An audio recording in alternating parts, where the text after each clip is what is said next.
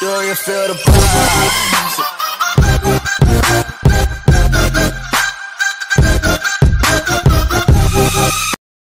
The view turned ugly when Jeanine Pirro stopped by. She accused Whoopi of being hysterical over Donald Trump, but Whoopi said the real madness is when Trump whips up hate and fear among his base. By the end of the July 19 episode of The View, Whoopi Goldberg, 62, was up to here with Judge Jeanine Pirro, 67. After arguing about President Donald Trump's treason summit and the Russia investigation, Jeanine, like a high school bully, accused Whoopi of having Trump derangement syndrome.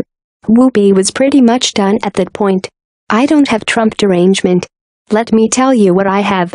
I'm tired of people starting a conversation about how all Mexicans are liars and rapists. I'm 62 years old. There have been a lot of people in office that I didn't agree with. I've never, ever seen anything like this. I've never seen anyone whip up so hate.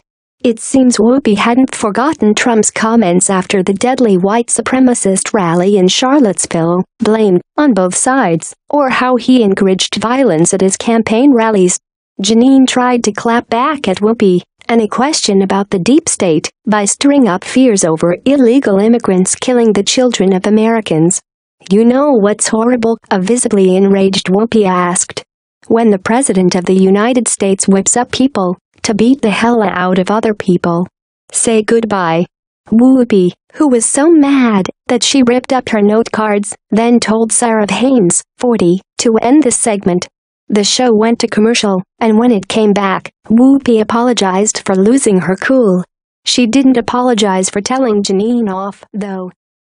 The view turned ugly when Jeanine Pirro stopped by. She accused Whoopi of being hysterical over Donald Trump, but Whoopi said the real madness is when Trump whips up hate and fear among his base.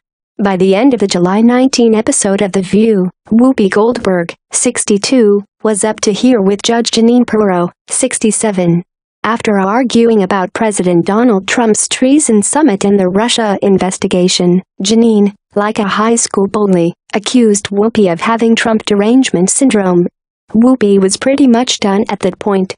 I don't have Trump derangement. Let me tell you what I have.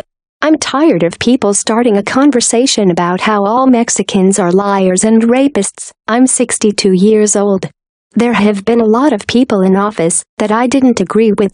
I've never, ever seen anything like this. I've never seen anyone whip up so hate.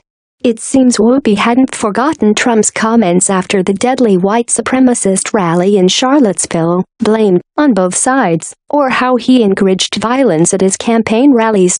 Jeanine tried to clap back at Whoopi, and a question about the deep state, by stirring up fears over illegal immigrants killing the children of Americans. You know what's horrible? A visibly enraged Whoopi asked. When the President of the United States whips up people, to beat the hell out of other people. Say goodbye. Whoopi, who was so mad that she ripped up her note cards, then told Sara Haines, 40, to end the segment. The show went to commercial, and when it came back, Whoopi apologized for losing her cool.